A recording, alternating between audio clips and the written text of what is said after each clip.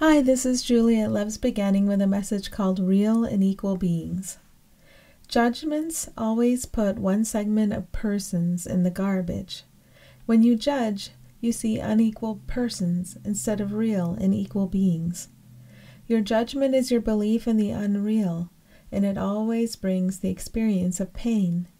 Take a moment, whenever you can, to remember the real and equal nature of all beings. Find your willingness to see this real and equal nature shine forth. Remember that your power to allow the real and equal nature of all beings to shine forth also belongs to all equally. As this power is remembered and activated in you, it is activated in all. Give yourself the gift of this power by seeing its presence in all you call other.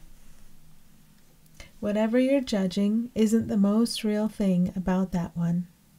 What is equal truth beyond every body? You have the power to allow it to shine. Whenever you feel disquiet, you're getting an indicator that you have believed a thought from ego. This is not your real thought. You have had ego sending you thoughts to consistently cover up the equal nature of all beings. Remember this when you feel that twinge or cringe from a belief in egoic thought. I am trying to cover up the equal nature of all beings. I can relax out of this. I can allow the equal nature of all beings to shine forth now. As I can allow it, so can everyone else. It hurts to attempt to rest in what has no stability or reality. Actual stability is here for you to rest in right now. Find your willingness to let resistance go and to fall into what is real. It is truly restful to rest in what is real. You know by how you feel. Pay attention to how you feel, and you always know when it's time to rest in a moment of willingness.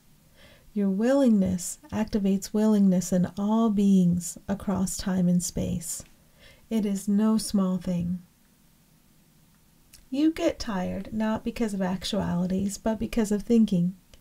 You don't have to try not to get tired or to blame yourself for an experience of fatigue. Just go in gently, see what you are believing about cause and effect, and see what there is to release. With any lack of well being, with any sense of a burden, there is something here to release.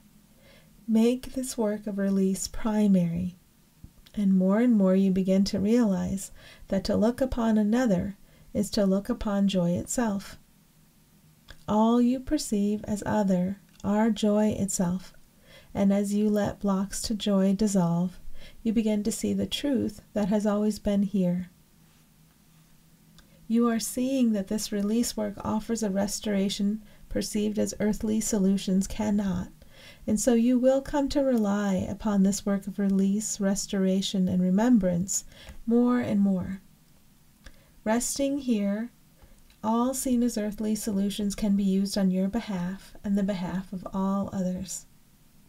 Whatever seems to show up in the world, allow it to be used by Spirit for the benefit of all. No matter what it is, seemingly good or bad, put Spirit in charge of your perception of it, and you are held and carried in peace always. As you allow yourself to be held and carried in peace, you can see the peace at the heart of every being. You can see the peace at the heart of everything you look upon. We thank you for inviting us to look upon your world with you, to show you what is truly here for all.